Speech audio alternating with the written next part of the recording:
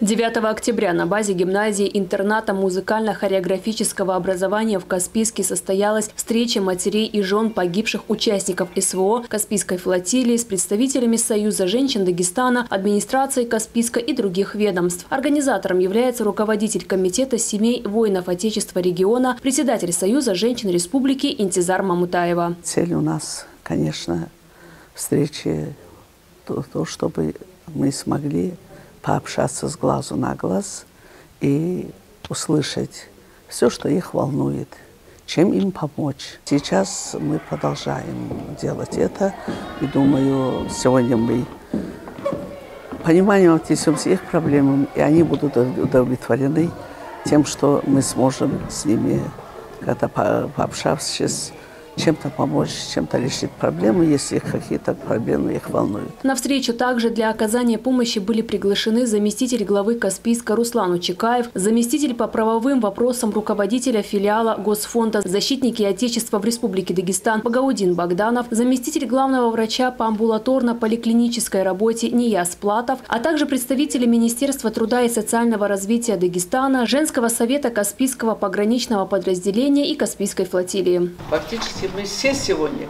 любая организация, кто думает о жизни, о будущем, о будущих поколениях нашей, нашей Родины, они каждый занимается поддержкой, помощью тех, которые сегодня находятся на передовой.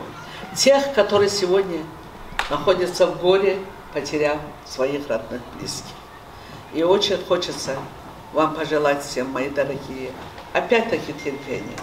Как у нас говорят, сабру я Аллах. Сабру, мы другого ничего не сможем делать. И когда пришла беда, просто нужно.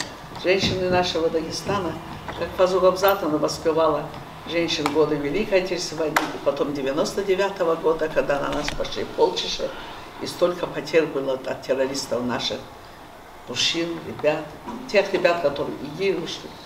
А наша Фазуга Абзатовна говорила, восхищаюсь нашими женщинами их терпение, их мудрость, их понимание, которые знают, что они вырастили достойных сыновей. И этим они должны гордиться. В рамках встречи присутствующие активно делились своими проблемами разной направленности со специалистами. В свою очередь, каждое обращение было зафиксировано. После обсуждения состоялась профилактическая работа, оказание психологической помощи квалифицированными специалистами женам и матерям погибших бойцов.